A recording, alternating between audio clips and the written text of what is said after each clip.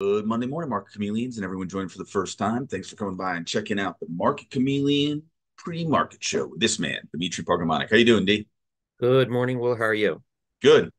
You want to start with the disclaimer? Yep. Good morning, everyone. Before we get started, keep in mind Will and I and Market Chameleon, we're not a registered investment advisor. We're not a broker dealer. We're not telling you what to do. We're just sharing ideas. If you need advice, call your registered investment advisor, call your broker. That's what they're there for. There's the disclaimer. Excellent.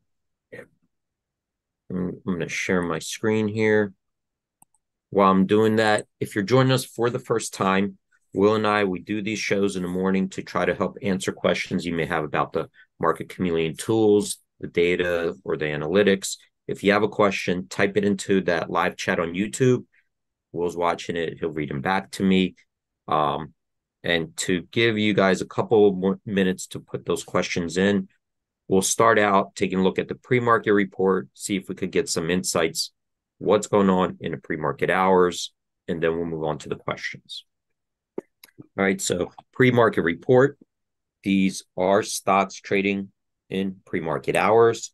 Up top, we start out, we have this calendar view that allows you to go back in time if you wish to see what happened in a pre market on a historical date. Today, we're on January 22nd.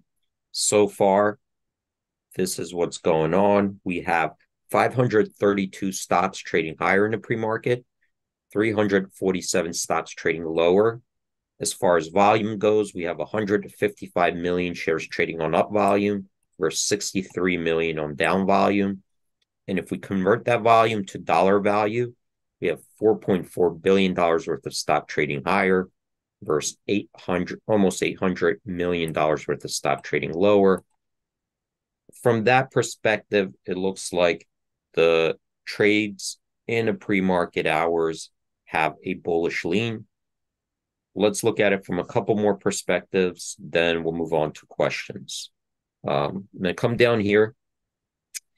And now we have a list of stock symbols that are trading in the pre-market hours, and we could see here the volume, the price changes, um, an alert if there is news.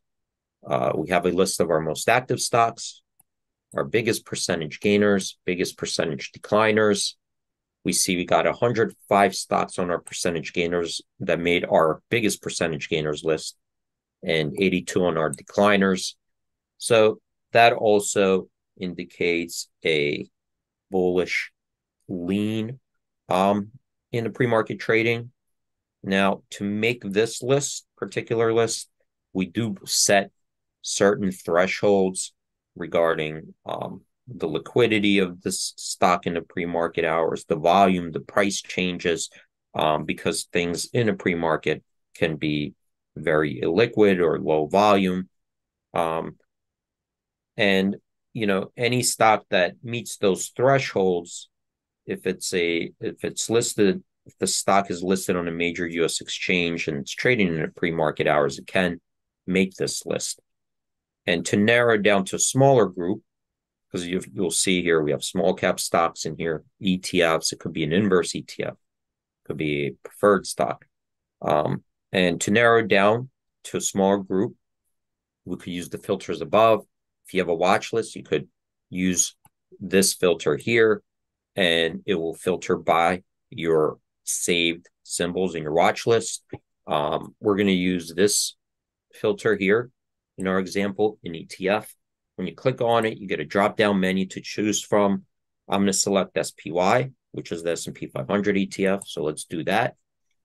And when we do that, the list below will get filtered by stocks that are holdings in the SPY ETF, which are the S&P 500 constituents. And here we have we see 12 stocks made our biggest percentage gainers, three on our biggest percentage decliners.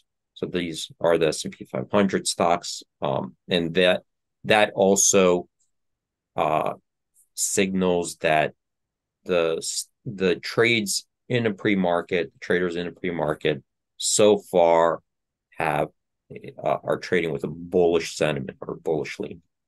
Um, so we gave it a couple minutes. Will, if you have a question, I'll I'll take them now. Nothing's popped up, D. Okay. Um, so let me just jump to SPY.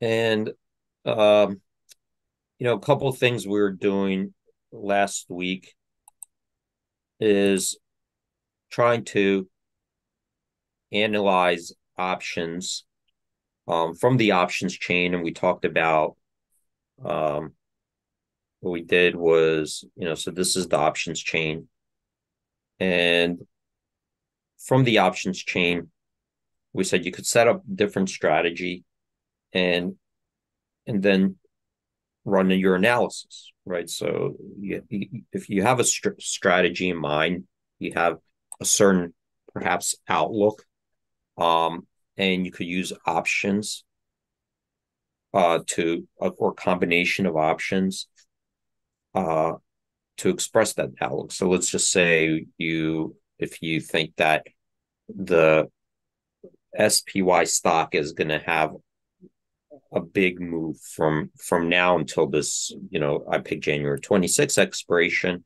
Well, there are lots of different ways you could strategize around that. One way is like a straddle. So straddle would be if you go to the at the money strikes, you know, so you know, we got 482.43 and buy a straddle. So buying buying a call and then buying a put right? So now what we did was set up a strategy. It's a multi-leg strategy. Um, and here you can see here buying the Jan 26 482 call for 292, buying the Jan 26 482 put for 240. So if we run that, now we get to see, you know, what that looks like at expiration. And this payout diagram will let us know, you know, where this strategy at expiration um, will lose and which where it will make, right? So different stock prices over here, down here. And this is, if you hover over it, it shows you the profit and loss. So if you're paying 532 for the straddle, the stock has to move by more than $5.32 away, right? This is what the graph is saying, away from the at the money to be profitable, right? That, because that at, at that point it will cover the cost of both the call and the put.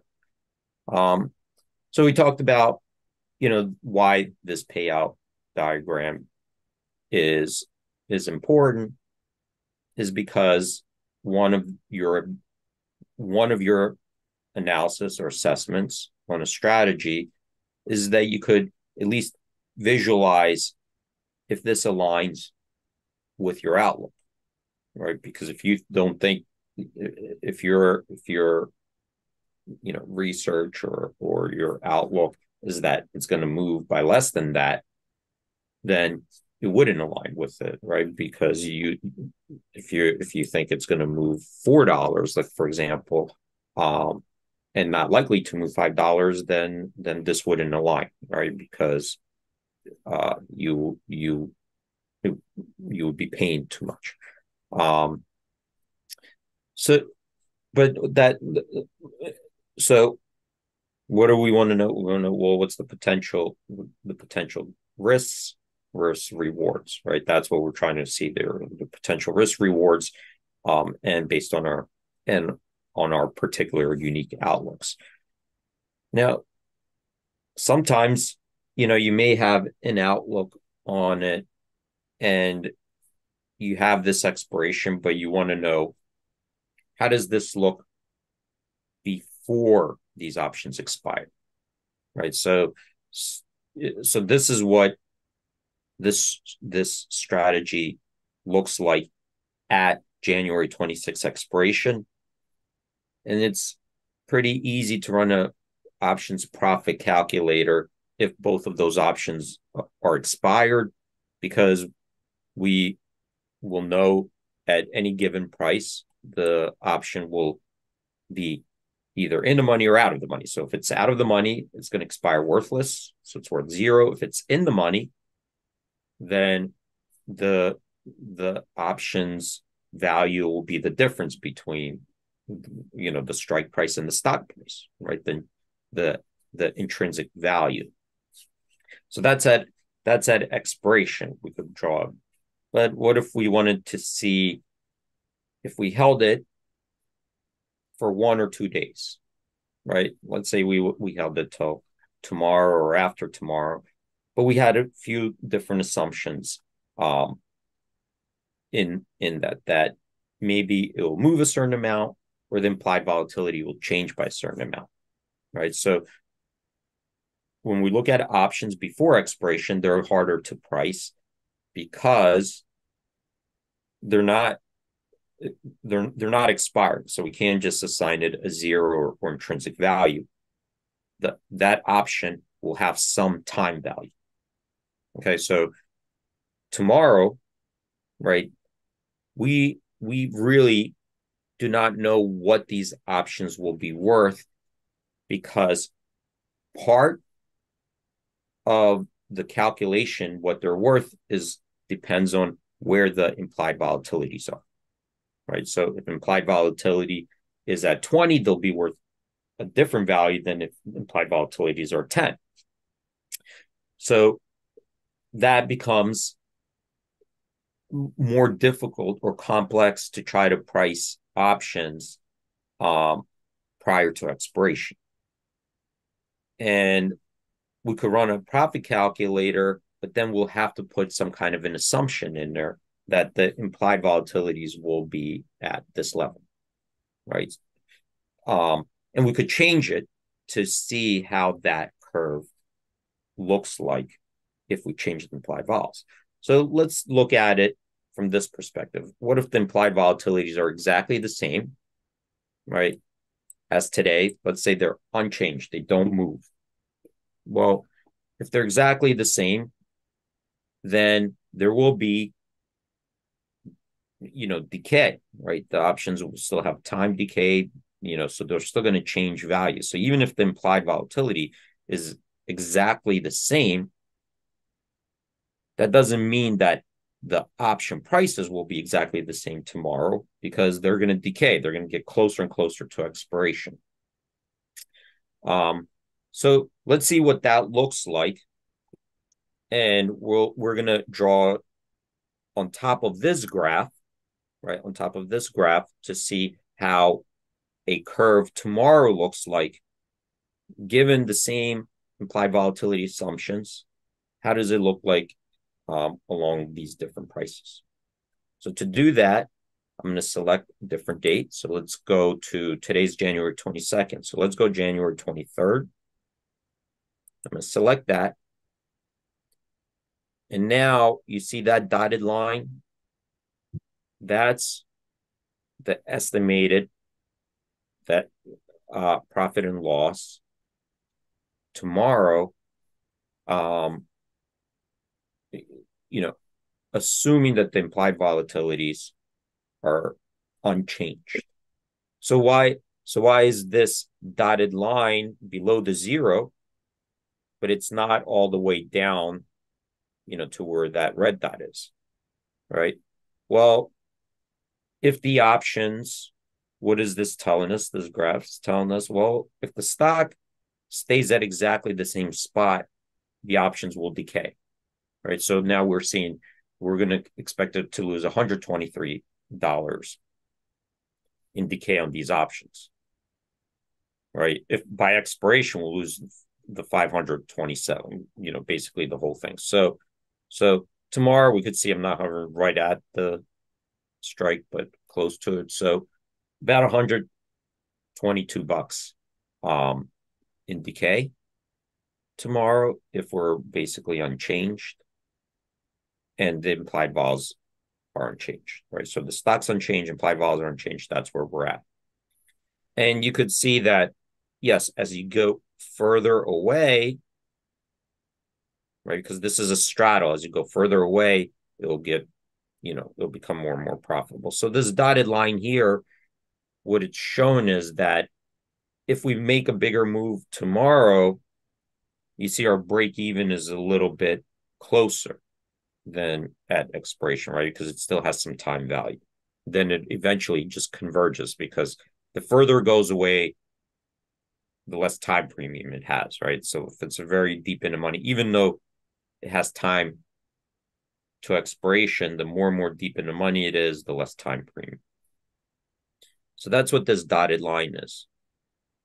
But what if we try to change the assumption and say, well, the reason we're purchasing this implied vol or this straddle, one of the reasons is we think it has a potential move, but the implied vol is too low.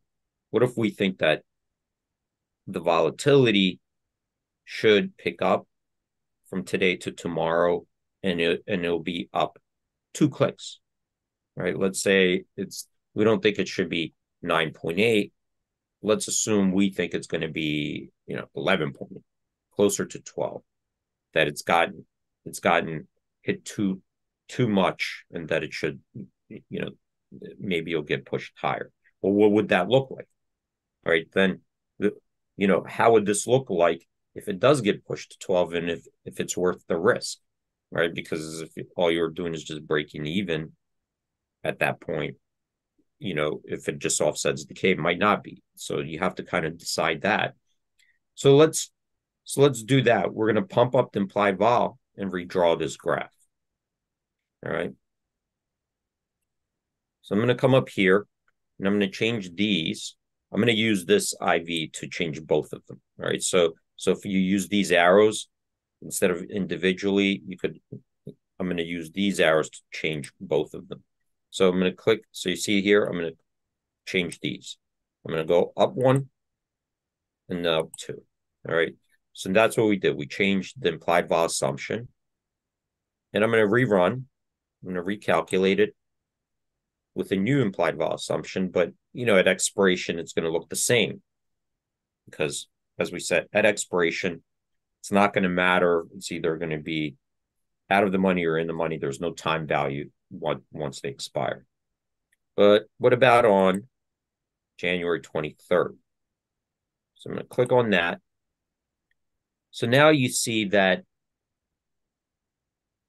if the stock is unchanged, if it's basically unchanged and implied volatility goes up two clicks, if that happens, then we're we're still losing, just not as much, right? So it offsets some of the decay. So instead of $122, it looks like it's a $41 loss.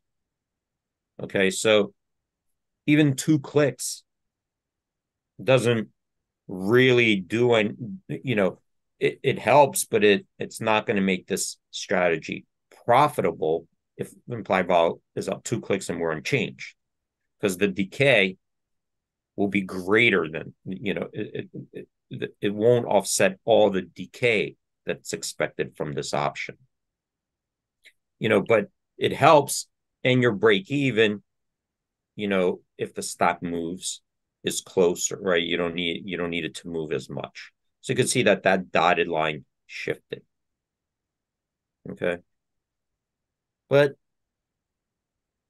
what if we thought the other way? And let's say, let's go, I'm going to look over here and you see how the implied volatility tends to move down as we get closer to expiration. So what does that tell us? If we look in, so we're looking over here, January 19th, January 22nd, January 23rd, 24th. These are the implied vols 8.7, 9.5. So you could see that as you go out further in time, the implied volatility term structure is going up. But as you're getting, as this expiration gets closer, you know, as we get closer to the expiration date, the implied volatilities are sloping down.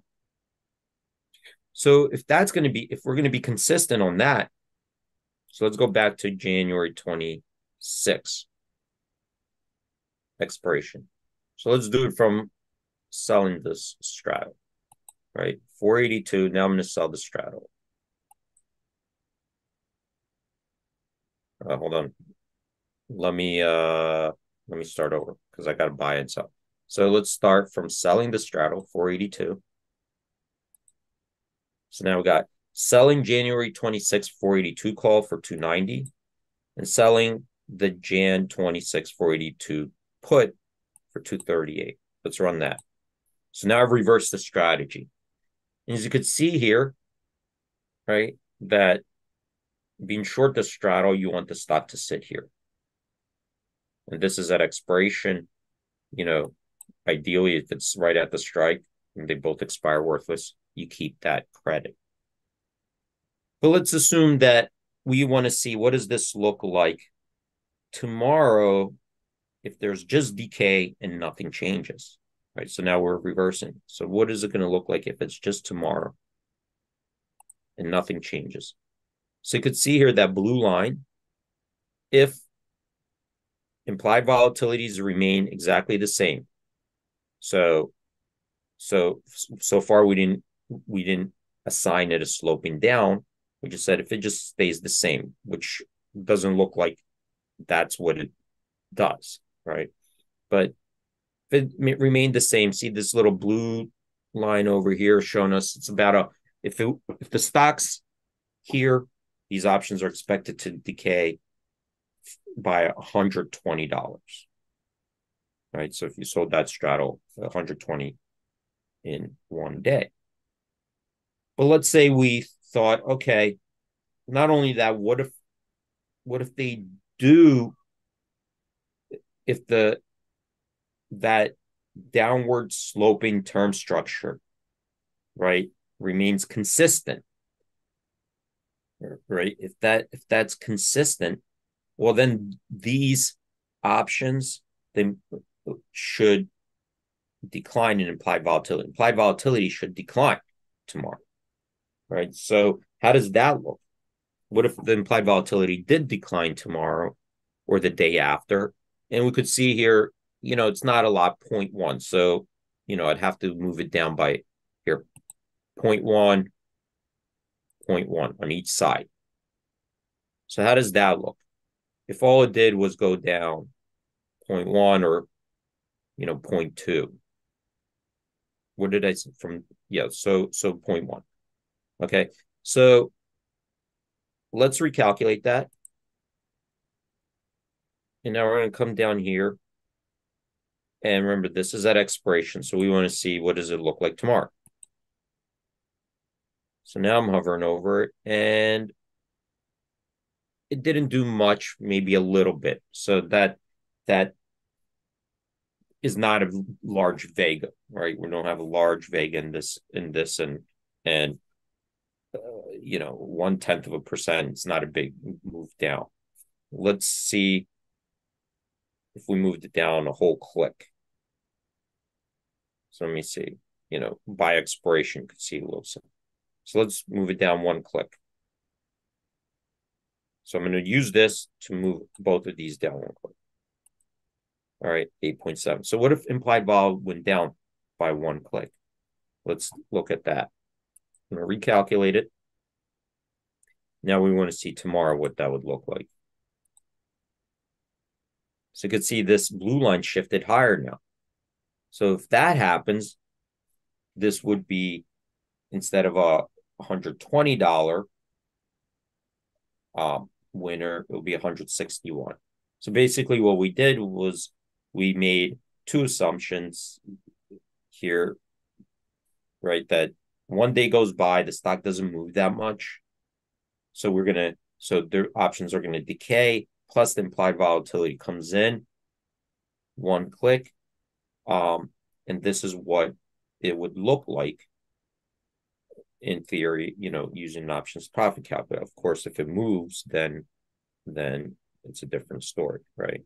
So this is where your profit and loss is one day away. If we did two days, January 24th, this is what it looks like. So I think that in this demonstration, what we wanted to do was expand on the options profit calculator to say if we wanted to compare the the you know, payout diagram at expiration to a payout diagram prior to expiration, we could run that analysis. However, in that analysis, we will have to make assumptions about where we think the implied volatilities will be um, on that date. Okay, because that's what matters is where do you think the implied volatility will be, you know, the days before expiration. So hopefully, you know, hopefully you guys found that helpful. Helpful. That was awesome, D. Great job, my friend. Okay. Well, everyone, stay safe out there. Have a great trading day. We only have, you know, we're almost at 9:30, so I guess we'll end it here. Yep, we're four um, minutes out. Awesome job, buddy. Have a